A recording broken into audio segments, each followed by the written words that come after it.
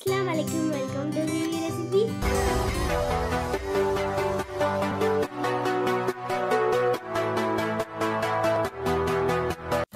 அஸ்லாம் வலைக்கம் ஃப்ரெண்டு இன்றைக்கி வந்து நம்ம சேனலில் வந்து மில்க் பவுடரில் எப்படி வந்து சாஃப்டான ஜூஸியான குலோப்ஜாம் செய்கிறதுன்னு பார்க்கலாம். அதுக்கு தேவையான பொருட்கள் ஒரு கப்பு பால் பவுடர் எடுத்துக்கோங்க கா கப்பு மைதா மாவு எடுத்துக்கோங்க. One tablespoon baking powder எடுத்துக்கோங்க. ஒரு பவுலில் வந்து ஃபஸ்ட்டு மில்க் பவுடர் வந்து ஆட் பண்ணிக்கோங்க. மைதா மாவையும் ஆட் பண்ணிக்கோங்க. பேக்கிங் பவுடரை ஆட் பண்ணி மூணுத்தையும் நல்லா மிக்ஸ் பண்ணி விட்டுடுங்க. மாவெல்லாம் நல்லா மிக்ஸ் பண்ண பிறகு ரெண்டு டீஸ்பூன் வந்து நெய் அதில் ஆட் பண்ணி நல்லா மிக்ஸ் பண்ணி விட்டுடுங்க. நெய் உருக்கிலாம் நீங்கள் ஆட் பண்ண வேணாம். உருக்காமையே நீங்கள் நெய்யை வந்து ஆட் பண்ணி நல்லா மிக்ஸ் பண்ணி விட்டுடுங்க.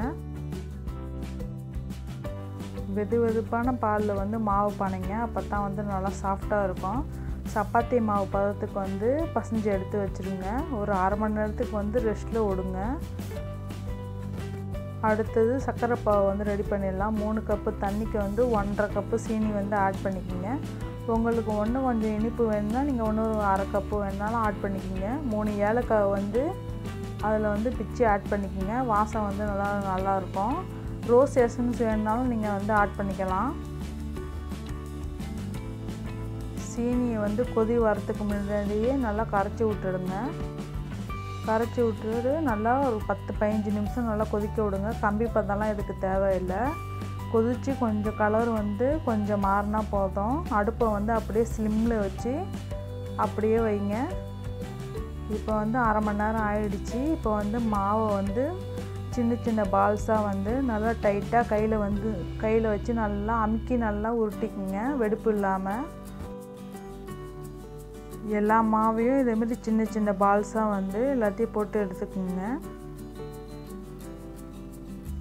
எல்லா மாவையும் இதேமாரி எல்லாத்தையும் ரெடி பண்ணியாச்சு. இப்போ வந்து பொரிக்க தேவையான அளவு எண்ணெயாச்சோ இல்லை நெய்யாச்சோ நீங்கள் ஊற்றிக்கிங்க எண்ணெய் சூடு வந்த பிறகு அடுப்பை வந்து நல்லா ஸ்லோவில் வச்சுருங்க.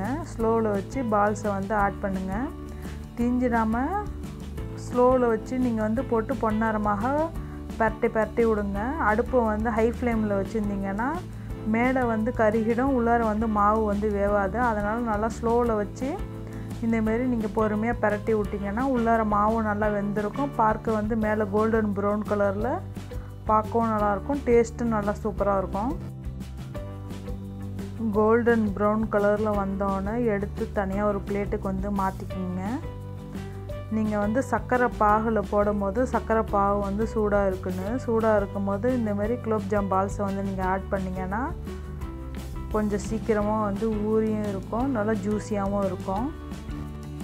குலோப்ஜானை வந்து சிறப்பில் வந்து ஆட் பண்ணோன்னே ரெண்டு மணி நேரத்துக்கு அப்படியே ரெஸ்ட்டில் விட்டுருங்க. ரெண்டு மணி நேரத்துக்கு அப்புறம் பார்க்கலாம். ரெண்டு மணி நேரத்துக்கு அப்புறமா எடுத்து நீங்கள் வந்து பரிமாறுங்க. இது வந்து ரெடிமேடு மாவு வாங்கி நீங்கள் செஞ்ச மாதிரியே டேஸ்ட்டு வந்து நல்லாயிருக்கும். இது மில்க் பவுடரில் செஞ்சேன்னு சொன்னால் யாருமே நம்ப மாட்டாங்க.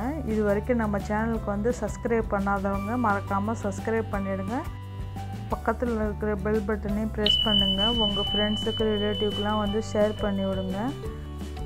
இப்போது ஒன்று எடுத்து கட் பண்ணி காமிக்கிறேன் பாருங்கள் எப்படி நல்லா சாஃப்டாக நல்லா ஜூஸியாக இருக்குன்னு. தேங்க்ஸ் ஃபார் வாட்சிங் பிவி ரெசிபி